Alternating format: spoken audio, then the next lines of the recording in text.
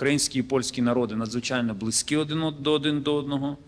У нас спільний ворог і в наших спільних інтересах поразка російської агресії і перемога України. Це ключове. Політика політикою, а українсько-польське партнерство це вічне. Почали ми з необхідності вирішення проблемних питань у двосторонніх відносинах. І е, бажання вирішити ці питання є з обох боків, і з України, і з Польщі. Треба сідати і предметно говорити, щоб знаходити збалансовані, юридично обґрунтовані рішення. Насамперед це стосується блокування українсько-польського кордону польськими автоперевізниками та питання е, експорту української аграрної продукції до Польщі. Питання чутливі, ми визнаємо їхню чутливість, але рішення мають бути знайдені і якнайшвидше.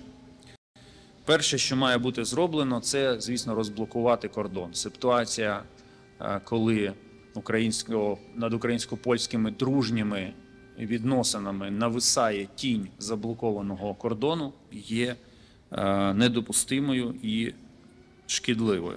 Ten alarm lotniczy, który Państwo słyszycie, to jest powód, dla którego tu jestem.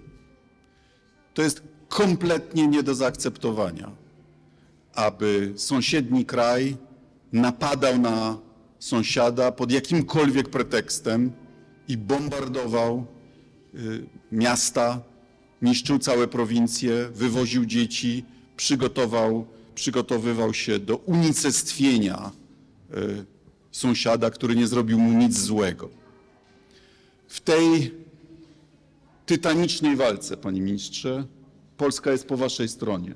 Ukraina jest krajem europejskim, wolnym narodem, który chce żyć w demokracji, w pokoju, który sam chce decydować o sobie, wybrał kierunek y, w kierunku y, Europy, w kierunku Zachodu.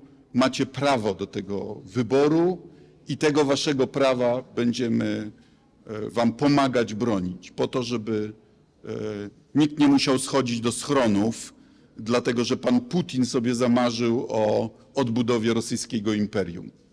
Gratuluję e, otwarcia negocjacji z Unią Europejską. Nowy premier Polski, e, Donald Tusk, e, myślę, że miał w tym swój udział. Znajdziecie w nim też przyjaciela wolności i przyjaciela Ukrainy.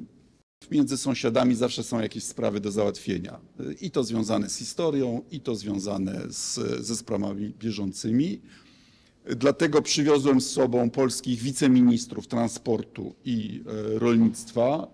Musimy przywrócić warunki e, uczciwej konkurencji, tak żeby na handlu, e, na transporcie wszyscy skorzystali. Chcę oddać hołd bohaterom tego miasta i waszego kraju.